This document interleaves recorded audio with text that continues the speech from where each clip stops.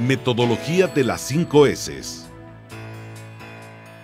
Esta metodología se compone de cinco principios fundamentales. Clasificación u organización Seiri. Orden Seiton. Limpieza Seiso. Estandarización Seiketsu. Disciplina Shitsuke. 1.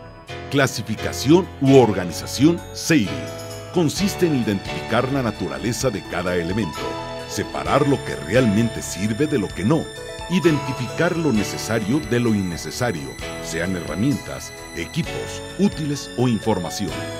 2. Orden. Seiton. Se debe mantener el orden del área, disponer de un sitio adecuado para cada elemento y debidamente identificado. Permite a las personas realizar una correcta disposición del material, identificar el grado de utilidad de cada elemento, reducir tiempos de búsqueda y una vez que sea utilizado puedan volver a dejarlo en su lugar. 3. Limpieza.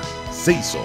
Se basa en asumir la limpieza como una actividad de mantenimiento autónoma, rutinaria y como parte integral del trabajo, eliminando las fuentes de contaminación y no solo la suciedad. 4. Estandarización.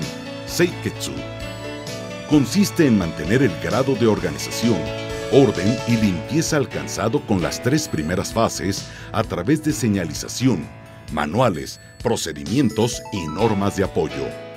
Se debe instruir a los colaboradores a cumplir con las normas para conservar el orden en las áreas, equipos y herramientas. 5. Disciplina. Shitsuke.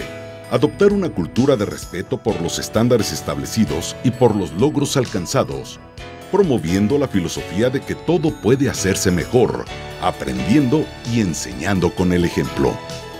Los beneficios de la implantación de las 5 S se podrán notar en los diferentes niveles de productividad y calidad dentro de la empresa. Su mantenimiento residirá en la disciplina y constancia que se tenga en la organización para la mejora continua de las actividades. La calidad significa hacer lo correcto cuando nadie está mirando.